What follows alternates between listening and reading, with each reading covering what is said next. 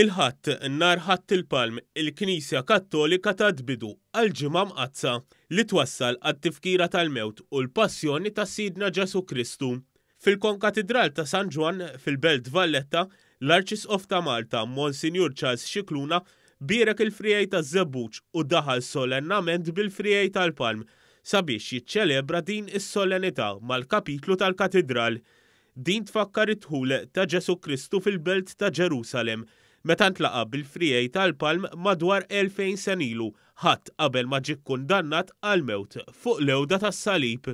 Fiċ-ċelebrazzjoni tal-Quddies ta' Ħadd il-Palm inqara r-rakkont tal-Passjoni skont San Luqa, rakkont li jfakkar il-Passjoni sħiħa ta' Ġesù Kristu u li jinqara minn tliet ċelebranti, Dan ir-rakkont jinqara f'Ħadd il-Palm minħabba li fil-Ġimgħa l-Kbira ma jsirx quddies.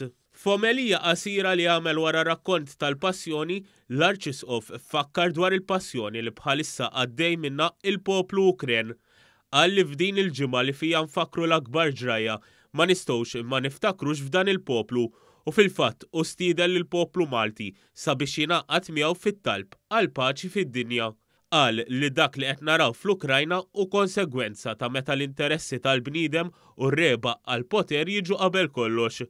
Hawnhekk huwa qal kif meta Kristu ġie sfidat fuq is-salib sabiex isalva lilu nnifsu bħalma salva nies oħra qabel, ma ġabx l-interessi tiegħu, iżda għadda mit-tbatija u miet imsallab.